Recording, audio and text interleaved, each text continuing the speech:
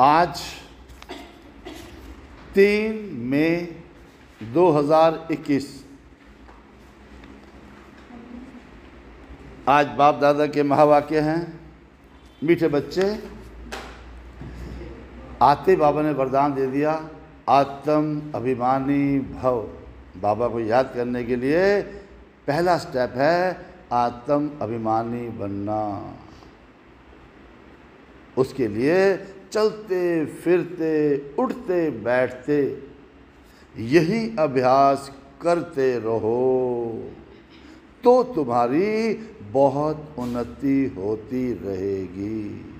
तो तुम्हारी बहुत उन्नति होती रहेगी। प्रश्न है, बाप की एक्यूरेट याद किन बच्चों की बुद्धि में रहेगी? उत्तर है, जिन बच्चों ने बाप को एक्यूरेट जाना है। फिर कई बच्चे कहते हैं कि, बिंदु कब भल कैसे याद करें? क्योंकि भक्ति में तो अखंड ज्योति समझ याद करते आए और अभी बिंदी कहकर कंफ्यूज हो जाते हैं मूंझ जाते हैं।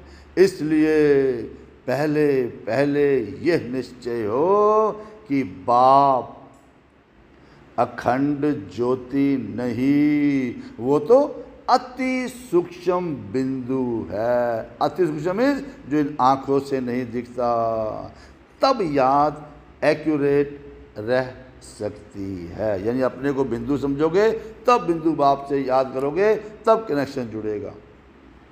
ओम शांति।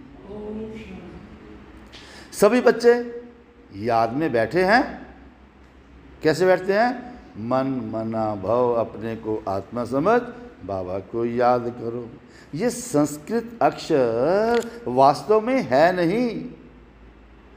बाप ने जब सहज राजयोग सिखाया है, तब ये संस्कृत अक्षर बोले नहीं है। ये तो संस्कृत, ब्रह्मा बाबा तो संस्कृत जानते ही नहीं। बाप तो हिंदी में ही समझाते हैं। भल, ये रथ। ब्रह्मा बाबा का तन हिंदी, सिंधी तथा इंग्लिश जानने वाला है, परंतु बाप समझाते हिंदी में ही हैं। अब जो जिस धर्म का है, उनकी अपनी अपनी भाषा है। यहाँ हिंदी भाषा ही चलती है। ये भाषा समझना सहज है। और ये स्कूल भी वंडरफुल है। इसमें कोई भी कागज़, पेंसिल, पन्ने आदि की दरकार नहीं रहती। तो कोई यहाँ कॉपी, पेन, पेंसिल लेके नहीं आता। यहाँ तो सिर्फ़ एक अक्षर को याद करना है, अर्थात बाप को याद करो। अब गॉड को, अथवा ईश्वर को, अथवा परम पिता परमात्मा को कोई याद ना करे, ये तो मुश्किल है। याद सभी करते हैं, परंतु उनकी पहचान ही नहीं है। तो बाप ही आकर अपनी पहचान देते हैं, क्योंकि शास्त्रों में में जो कल्प की आयु इतनी लंबी लिख दी है वो ही बाप आकर समझाते हैं। बहुत बड़ी बात भी नहीं है। अहिल्याएँ बूढ़ी बूढ़ी मा, माताएँ क्या समझेंगी? ये तो बहुत ही सहज है कोई छोटे बच्चे भी समझ सकते हैं।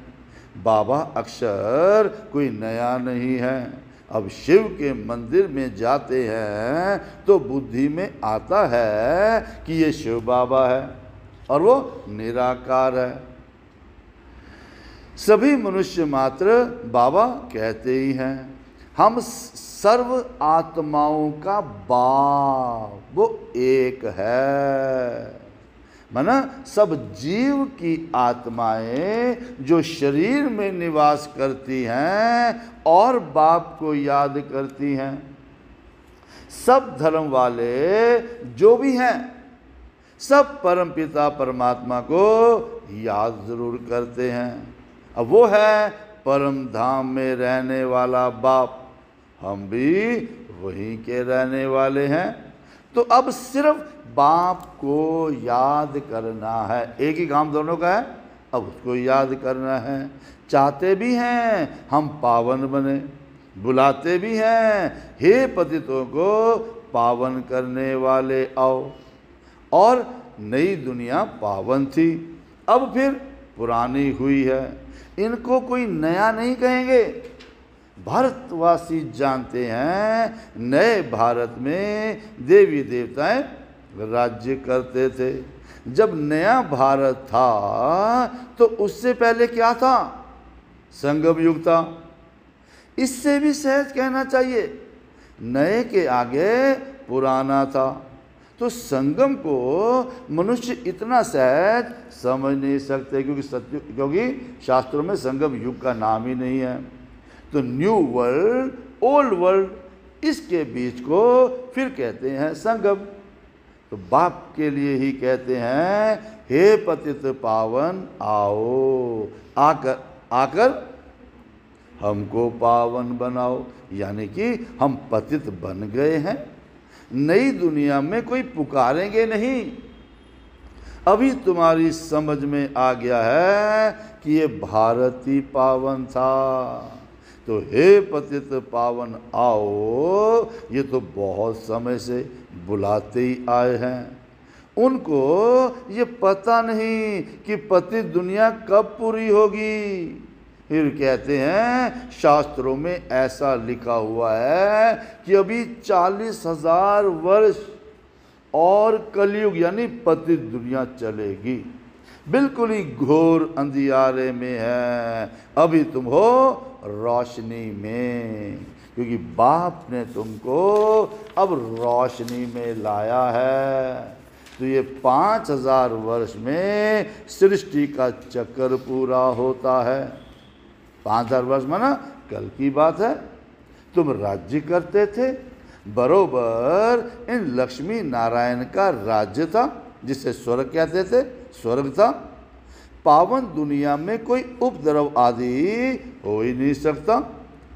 उपद्रव होता ही है। रावण राज्य में, मिस हैपनिंग्स कहाँ होती है? रावण राज्य में। तो यहाँ तुमको बाप समझाते हैं, तुम सम्मुख कानों से सुनते हो। कौन सुनता है कानों से? आत्मा। तो आत्मा को बड़ी खुशी होती है। हमको बाप फिर से आकर मिला है। बाप से वर्षा लिया था। अब बाप कहते हैं, मुझे याद करो, इसमें कोई लिखने पढ़ने की बात नहीं है। तो जब कोई आते हैं तो पूछा जाता है, आपका कैसे आना हुआ? तो क्या कहेंगे? यहाँ के महात्मा से मिलने आए हैं। पूछो, क्यों? तुमको क्या चाहिए? बताओ, कोई भिक्षा चाहिए? अब सन्यासी हो तो रोटी टुकड़ा चाहिए। सन्यासी को क्या चाहिए जहाँ जाएँगे, वहाँ पर रोटी का टुकड़ा मिल गया, चलो आगे चले जाएँगे। सन्यासी किसके पास जाते हैं? वह रास्ते में मिलते हैं तो रिलीजियस मनुष्य समझते हैं, ये फिर भी पवित्र मनुष्य हैं। इनको भोजन खिलाना अच्छा है। क्यों देते सन्यासियों को हम? समझते चलो पवित्र आदमी आत्मा है ये, चलो इनको भोजन खिला दो, अच्छी बात है। अभी तो पवित्रता भी नहीं रही। बिल्कुल इस तमो प्रधान दुनिया है, इसमें बड़ी गंदगी है। मनुष्य कितना हैरान होते हैं। अब यहाँ तो हैरान होने की कोई बात ही नहीं। बाप कहते हैं, लिखने करने की भी बात नहीं है। ये पॉइंट्स आदि भी लिखते हैं, धारणा करने के लिए, तक याद रहे पॉइंट्स। जैसे डॉक्टर लोगों के पास भी कितनी दवाइयाँ होती हैं। इतनी सब दवाइयाँ याद रहती हैं। बैरिस्टर की बुद्धि में कितनी लॉ की बातें याद रहती हैं। तुमको याद क्या करना है? इतना सारा घमासान भी याद नहीं करना है। तुमको याद क्या करना है? एक ही बात, सो भी बड़ी सहज है। तुम कहते हो एक शिव बाबा को याद करो। वो कहते हैं, शिव बाबा, कैसे आएँगे? ये भी तुम्हारे सिवाय और किसी को पता ही नहीं है। अब ईश्वर कहाँ है? वो तो कहेंगे, नाम रूप से न्यारा है। या फिर कह देते हैं, सर्वव्यापी है। रात दिन का फ़र्क हो जाता है दोनों अक्षर में। है ना? या तो नाम रूप से नहीं है फिर याद क्यों कर रहे हो? समय ही है। नाम रूप से न्यारी तो कोई चीज़ है ही नहीं। अब आकाश है, पोलार है, नाम तो है। फिर कह देते, कुत्ते, बिल्ली, सब में परमात्मा है। दोनों एक दूसरे के अपोजिट बातें हो गई। जब नाम रूप ही नहीं है तो सब में कैसे हो सकता है? तो बाप अपना परिचय दे के कहते हैं, मुझ बाप को याद करो। गाया भी जाता है, सहज राज्य। तो बाबा कहते हैं, योग का अक्षर ही निकाल दो, याद करो। कैसे? जैसे छोटा बच्चा माँ बाप को देखने से ही जट गले लग जाता है। पहले सोच करेगा क्या कि हमारे माँ बाप हैं? नहीं। इसमें सोच करने की भी बात ही नहीं। सोचना क्या इसमें? तुम्हें भी सिर्फ़ शिव बाबा को याद करना है। अब भक्ति मार्ग में भी तुम शिव पर फूल चढ़ाते ही आए हो। सोमनाथ का मंदिर कितना भारी बनाया हुआ है। जो बाद में मोहम्मद गजनवी ने आकर लूटा था। अब सोमनाथ का मंदिर भारत में नामी ग्रामी है। लूटे तो कई मंदिर हैं, पर सोमनाथ का मंदिर नामी ग्रामी है। सबसे पहले तो शिव की पूजा होनी चाहिए। तो बच्चों को ये सब नॉलेज अभी बुद्धि में आई है। बल पूजा आदि करते आए हो, परंतु तुमको ये पता ही नहीं था कि ये तो जड़ चित्तर हैं। ज़रूर चैतन्य में आया होगा। तभी तो वर्ष वर्ष शिव जयंती भी मनाते हैं। ये भी कहते हैं, शिव परमात्मा निराकार है। अब निराकार भी कहते हैं, आत्मा जानती है हम भी तो निराकार हैं। अभी तुम आत्म अभिमानी बनते हो, बहुत सहज है। वो तो हमारा बाबा है। ज्ञान का सागर, सुख का सागर, पतित पावन है। उनकी बहुत महिमा है। ब्रह्मा, विष्णु, शंकर की इतनी महिमा नहीं है। महिमा एक की ही गाते हैं। तो अब तुम बच्चे जानते हो, वो बाबा हम आकर हमको वर्षा दे रहे हैं। जैसे लौकिक बाप बच्चों का लालन पालन करते हैं, पढ़ाते नहीं हैं। पढ़ाई के लिए स्कूल में जाते हैं, फिर वान प्रस्थ में गुरु किया जाता है। आजकल तो छोटे बड़े सबको गुरु करा देते हैं। यहाँ तो तुम बच्चों को कहा जाता है, क्या कहते हैं? शिव बाबा को याद करो। और सबका हक है, सब मेरे ही बच्चे हैं, तुम्हारे में भी कोई है जो अच्छी रीति याद करते हैं। कई तो कहते हैं, बाबा याद किसको करें? बिंदी को बिंदी को कैसे याद करें? बड़ी चीज़ को याद किया जाता है। अच्छा परमात्मा जिसको तुम याद करते हो, वो चीज़ क्या है? तो कह देते, अखंड ज्योति स्वरूप है। परंतु ऐसे नहीं है। अखंड ज्योति को याद करना रॉन्ग हो जाता है। अब याद तो एक्यूरेट चाहिए। तो पहले एक्यूरेट जानना चाहिए तो बाप ही आकर अपना परिचय देते हैं और फिर बच्चों को सारे सृष्टि के आदि मध्य अंत का समाचार भी सुनाते हैं। डिटेल में भी तो नटचल में भी। अब बाप कहते हैं, बच्चे, तुमको पावन बनना है। तो उसके लिए एक ही उपाय है। क्या उपाय है? मुझे याद करो, मुझे कहते ही हो, पतित पावन। यानी कि आत्मा को पावन बनाना है। आत्मा ही कहती है, हम पतित बन गए हैं, हम पावन थे, अब पतित हैं। यानी सब तमो प्रधान है। हर एक चीज़ पहले सतो प्रधान, फिर तमो प्रधान होती है। आत्मा खुद कहती है, मैं पतित बनी हूँ, मुझे पावन बनाओ। शांति धाम में पतित होते ही नहीं, यहाँ पतित हैं, तभी तो दुखी हैं। जब पावन थे तो सुखी थे तो आत्मा ही कहती है, हमको पावन बनाओ तो हम दुख से छूट जाए। और तुम समझते हो, आत्मा ही सब कुछ करती है। आत्मा ही जज, आत्मा ही बैरिस्टर आदि बनती है। आत्मा ही कहती है, मैं राजा हूँ, मैं फलाना हूँ। अभी ये शरीर छोड़ दूसरा लेना है। इसको कहा जाता है आत्म अभिमानी। देह होते आत्म अभिमानी। तो रावण के राज्य में देह अभिमानी होते हैं। तो आत्म अभिमानी अभी ही बाप बनाते हैं। इस समय आत्मा पतित है, इसलिए दुखी है, तभी तो पुकारते हैं, हे बाबा, आओ। अब ये भी तुम जानते हो, ड्रामा प्लान अनुसार।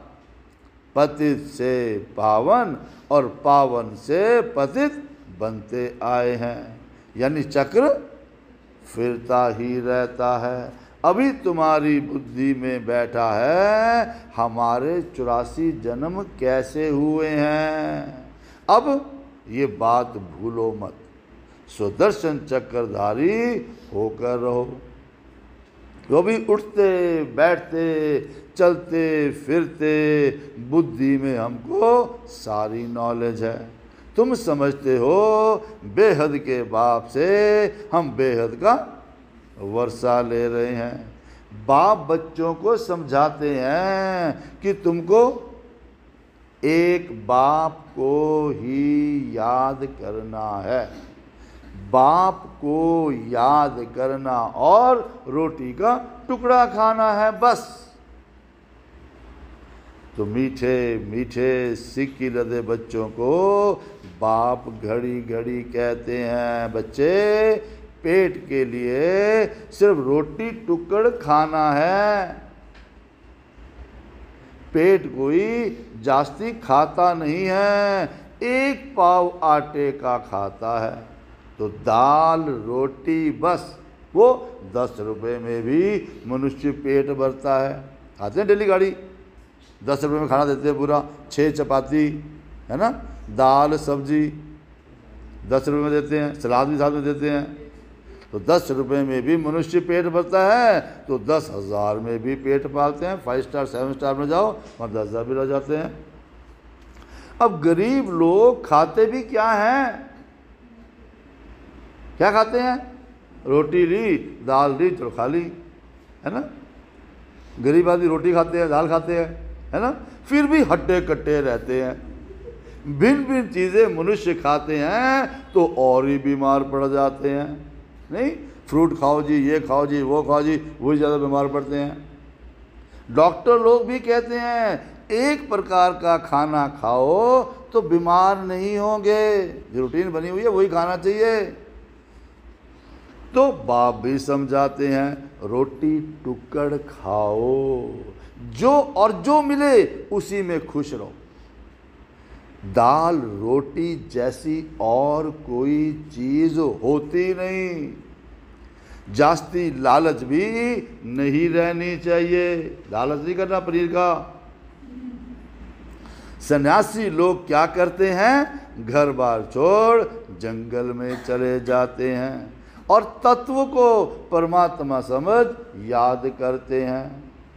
समझते हैं, ब्रह्म में लीन हो जाएँगे। ब्रह्म परमात्मा को समझते हैं, समझते उसमें लीन हो जाएँगे। परंतु ऐसे तो है ही नहीं। आत्मा तो अमर है। लीन होने की बात ही नहीं। बाकी आत्मा पवित्र और अपवित्र बनती है। तुमको कितना अच्छा ज्ञान मिला है और तुम ही प्रारब्ध भोगते हो और फिर ये ज्ञान भूल जाता है। फिर सीढ़ी उतरनी होती है।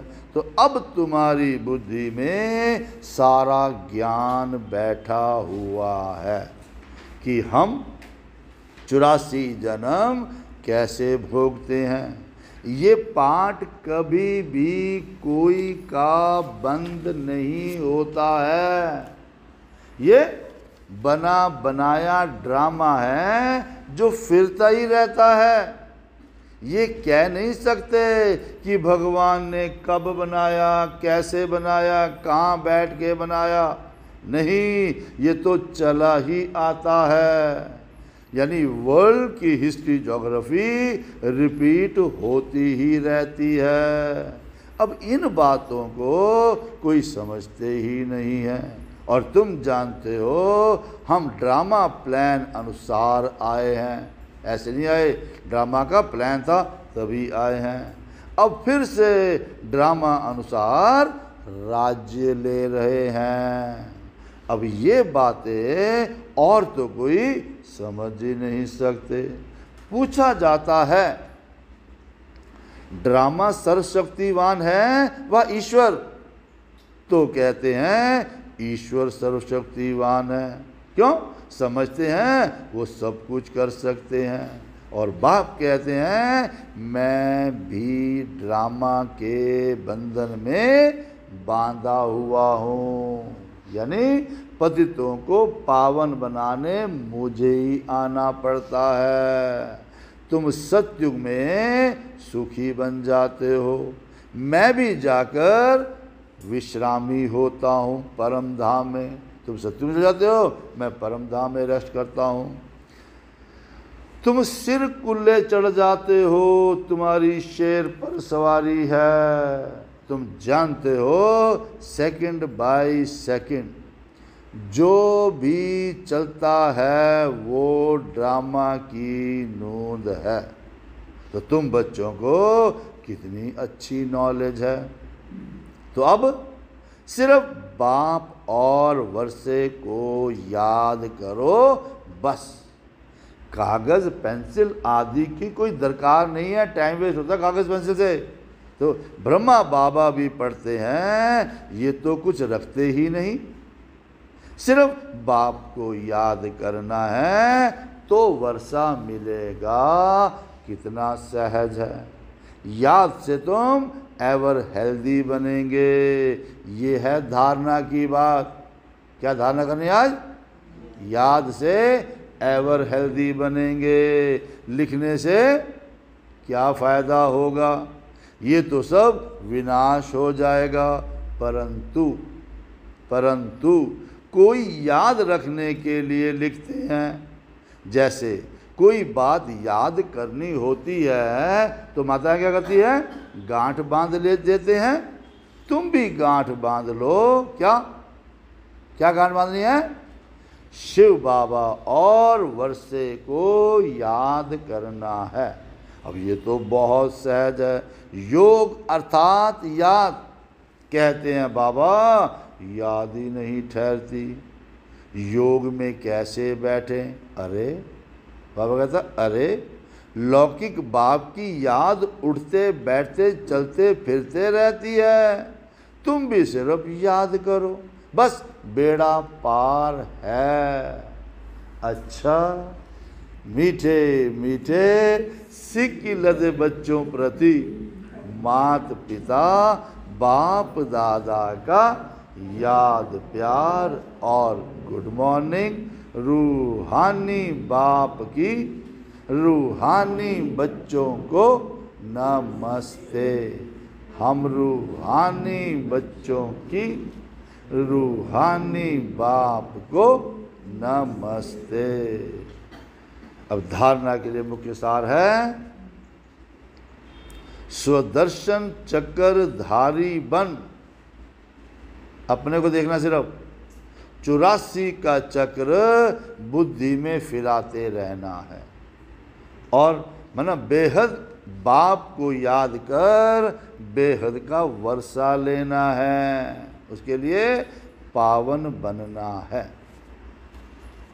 दूसरा किसी भी चीज़ की लालच नहीं करनी है। फिर क्या करना है? जो मिले उसी में खुश रहना। आज याद रखना, धारणा सबसे बड़ी बात क्या है? जो घर में बना हुआ हो, उसी में खुश रहना है। माना रोटी टुकड़ा खाना है और बाप की याद में रहना है। वरदान, बुद्धि रूपी पाँव मर्यादा की लकीर के अंदर रख सर्व प्राप्तियों से संपन्न बनने वाले शक्तिशाली भव। तो आज हम कौन है? शक्तिशाली। शक्तिशाली कैसे हुए? जब सब बाबा की प्राप्तियों से संपन्न बन जाते हैं। तो संपन्न बनने के लिए सब प्राप्तियाँ कैसे होती हैं? उसके लिए बुद्धि रूपी पाँव मर्यादा की लकीर के अंदर रखना। जो भी मर्यादाएँ, नियम मर्यादाएँ बाबा ने बताई है, उसमें रहोगे तो बाबा से सब प्राप्तियाँ मिल जाएँगी और आप बन जाएँगे शक्तिशाली। बाबा ने कहा, जो बच्चे बुद्धि रूपी पाँव जरा भी मर्यादा की लकीर से बाहर नहीं निकालते वही लक्की और लवली बन जाते हैं।